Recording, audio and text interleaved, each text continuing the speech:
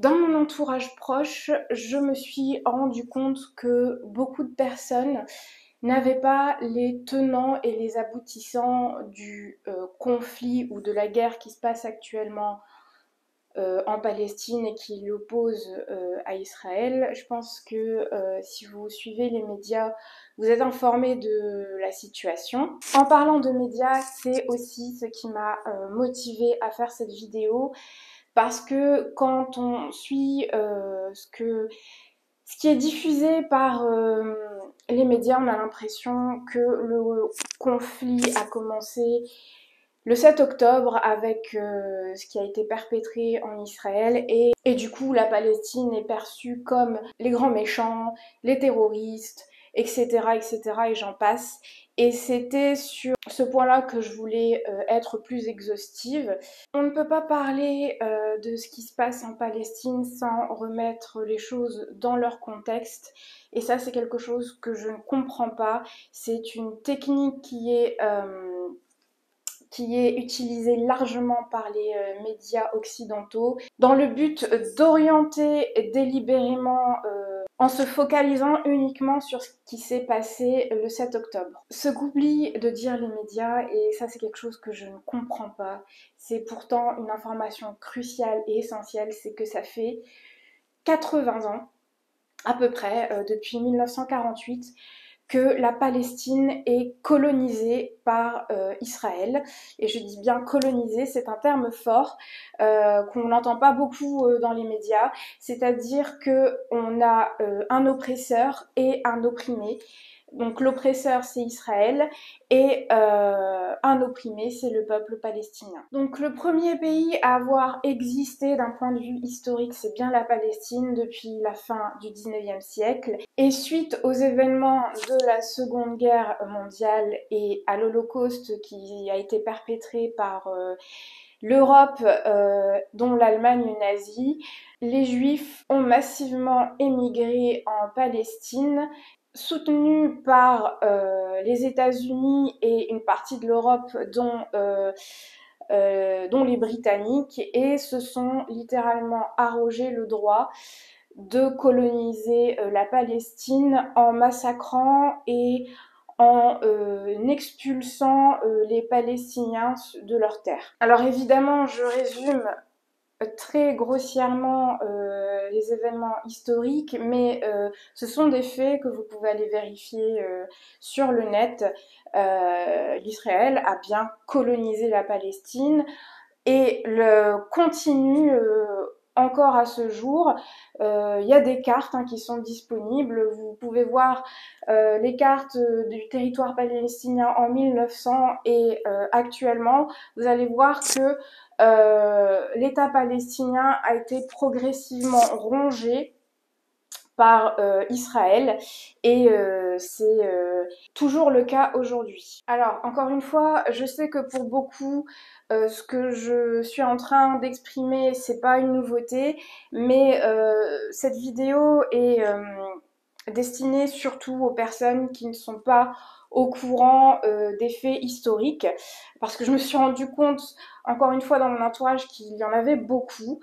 Et euh, pour beaucoup, en tout cas de la façon dont c'est présenté par les médias, c'est aussi une guerre de religion, les juifs contre les musulmans, ce qui est complètement faux, parce que ce qu'il faut savoir, c'est que avant la colonisation euh, de la Palestine, euh, les trois religions monothéistes vivaient en paix euh, sur ce territoire, c'est-à-dire que les musulmans, les juifs et les chrétiens cohabitaient de façon pacifique jusqu'à ce que euh, les sionistes viennent coloniser cette terre et, engendrer guerre et désolation comme c'est le cas aujourd'hui. Ce qui me consterne aujourd'hui, c'est que on a donc une vision qui est totalement biaisée de ce qui se passe euh, en Palestine euh, et en Israël. On a clairement des médias qui prennent euh, le parti de Israël en oblitérant également le fait qu'il y a beaucoup de juifs qui sont contre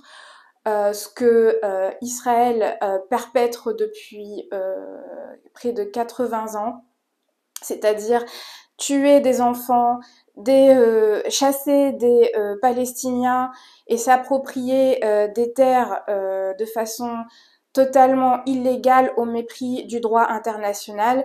D'ailleurs, euh, c'est pas non plus précisé dans les médias, mais Israël a été condamné à de maintes reprises par euh, l'ONU parce que ils ont violé le droit international. Des milliers de Palestiniens, dont des femmes et des enfants, sont emprisonnés dans les geôles israéliennes sans même avoir été jugés. Ils sont torturés, euh, sans parler euh, des, forces israéliennes qui tirent à bout portant sur euh, des, des, civils palestiniens. Autre chose également qu'il est crucial de préciser, c'est que Gaza, c'est littéralement une prison à ciel ouvert. C'est, ça fait partie de l'un des territoires les plus peuplés au monde. Il y a plus de 2 millions d'habitants qui sont concentrés sur un petit lopin de terre. Euh, et ce qu'il faut savoir, c'est qu'ils ne sont même pas libres de circuler sur leur, leur propre territoire, parce que c'est un territoire occupé par euh, l'armée israélienne.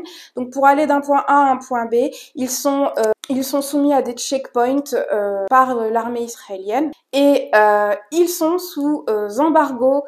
Euh, c'est-à-dire que euh, c'est un territoire où il n'y a euh, plus ni eau, ni nourriture, ni gaz, ni électricité, donc ils ne peuvent pas se nourrir, ils sont littéralement en train de mourir de faim, et l'objectif affiché de Israël, c'est littéralement de récupérer ce territoire en annihilant la population sur place. Donc c'est ce qu'on appelle un génocide. À l'heure où je fais cette vidéo, les victimes euh, côté palestinien s'élèvent à plus de 15 000, dont 6 000 ou 7 000 enfants. C'est un bilan absolument catastrophique. Alors j'ai vu des, euh, témoignages absolument consternants euh, sur euh, un média qui s'appelle I24, où on voit un Israélien littéralement appelé au massacre des 2 millions de Palestiniens à Gaza pour euh, reprendre ce territoire.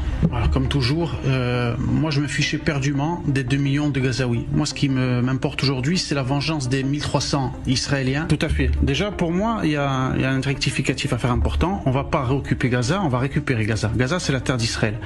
On faut pas oublier que c'est des territoires qui, si on, pour moi qui, qui suis croyant, on doit les récupérer en fin d'histoire, certes, mais voilà, on y est peut-être. Donc on doit récupérer ces terres, nous appartiennent aussi, on doit les récupérer. On va pas réoccuper Gaza, on va récupérer Gaza. Moi, ce qui m'inquiète, c'est que Israël ne doit pas tenir compte aujourd'hui de ce discours moderne. On a 3500 d'histoire, on, on, a la Torah pour nous guider. La Torah, c'est, on, a, ce drame.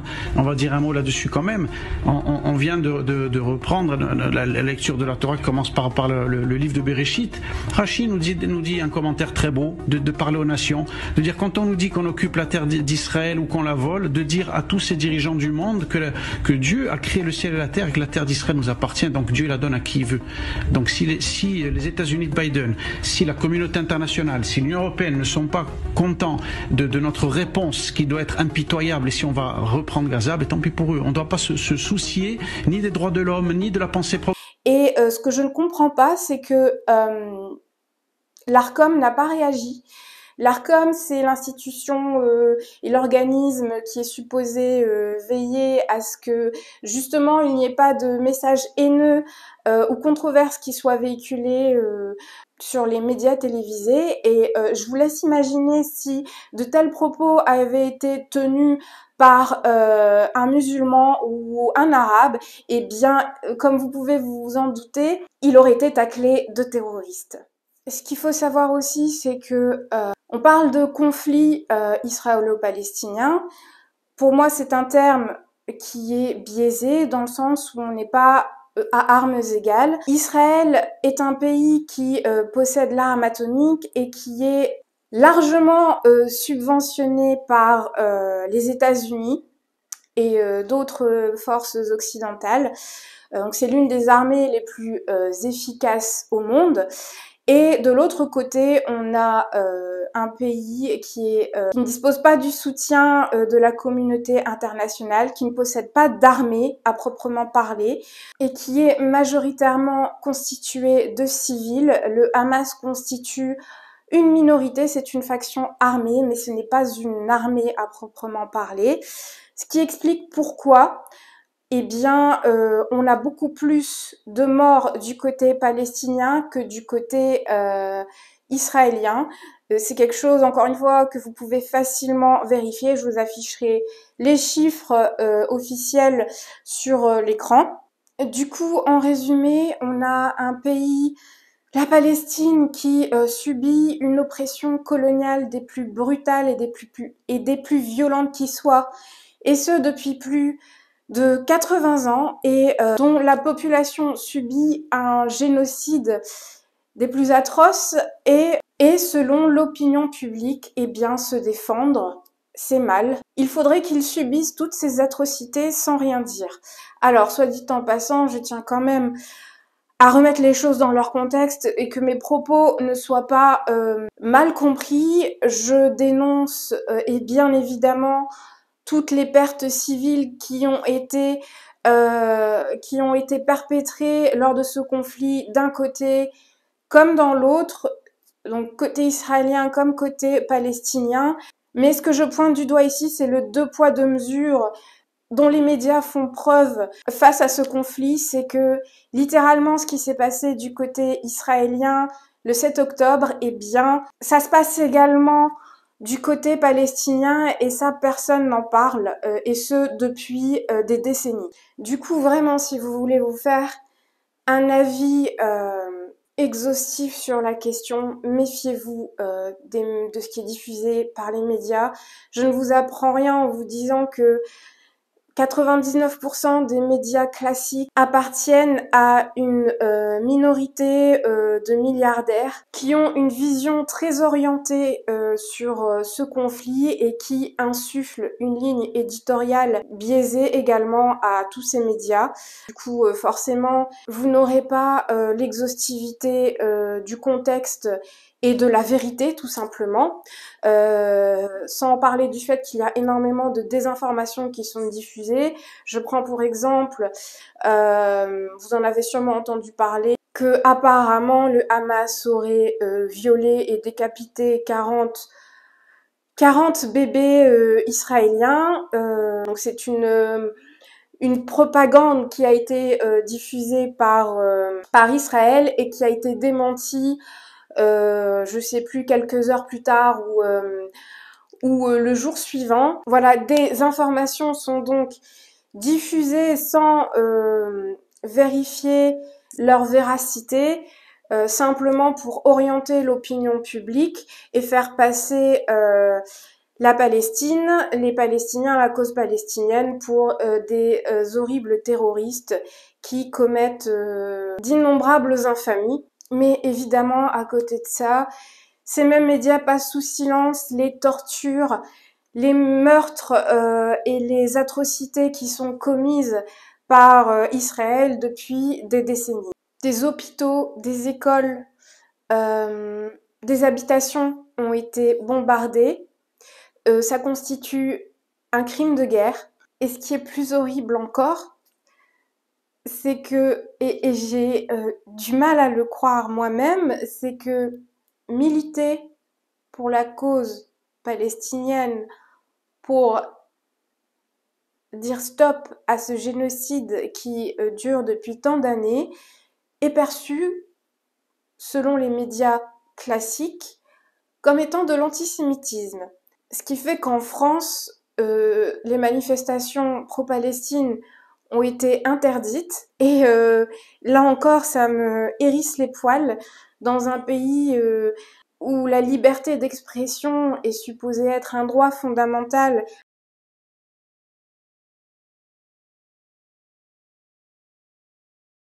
Interdire de manifester, c'est on ne peut plus contradictoire. Face à tant d'injustices, on se sent impuissant et je n'ose imaginer euh, les horreurs que subissent les Gazaouis, se réveiller tous les matins et se dire que c'est peut-être notre dernier jour. Avoir perdu un ou plusieurs membres de sa famille euh, et, je me sens coupable en fait, moi, de me dire que voilà, j'ai la chance de me coucher tous les soirs en sécurité. Alors on se sent impuissant face à tant d'injustices, mais euh, c'est possible d'agir à notre humble niveau en boycottant les marques qui euh, soutiennent et subventionnent l'armée israélienne.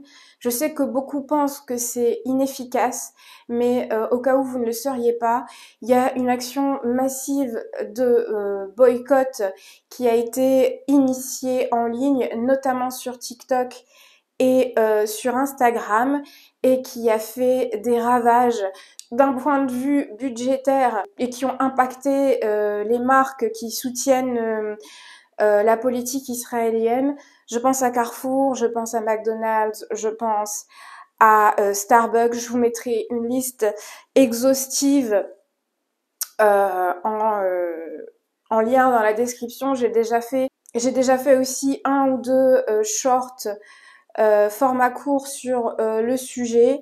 Donc boycotter de façon massive ces euh, marques qui euh, participent au génocide palestinien, c'est euh, l'une des, des, moindres choses qu'on puisse faire. Et puis communiquer, communiquer, parler à votre entourage de la situation si ils ne sont pas au fait de ce qui se passe ou s'ils ont une vision biaisée communiquer euh, sur vos médias ou partager simplement du contenu euh, qui informe euh, sur la situation, même si vous n'avez pas beaucoup d'abonnés, c'est mon cas, mais au moins ça permet, ça permet de diffuser la vérité. Et vraiment j'ai été impressionnée de voir à quel point le mouvement pro-palestinien a pris de l'ampleur grâce aux réseaux sociaux et à quel point ça a eu un impact, notamment économique,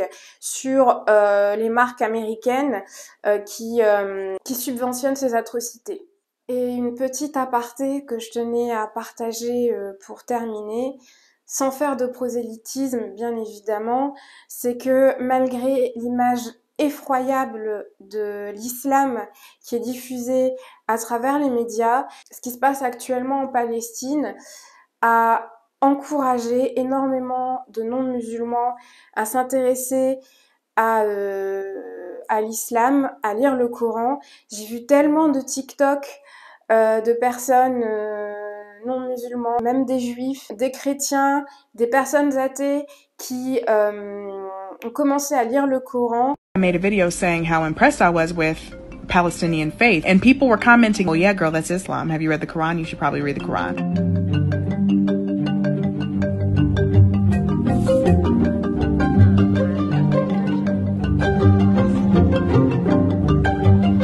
I've been reading the Quran, and I have a lot to say, especially because I grew up as an evangelical Christian. A Jewish person reading this as text for the first time. I've never laid my eyes on the Quran before. I got the Quran. Um, I got like a version that I can read, and then also an audio version.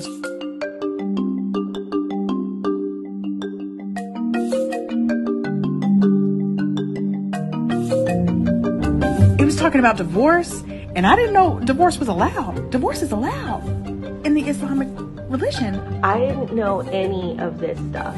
The propaganda runs deep. I'm deprogramming as I'm trying to get education material.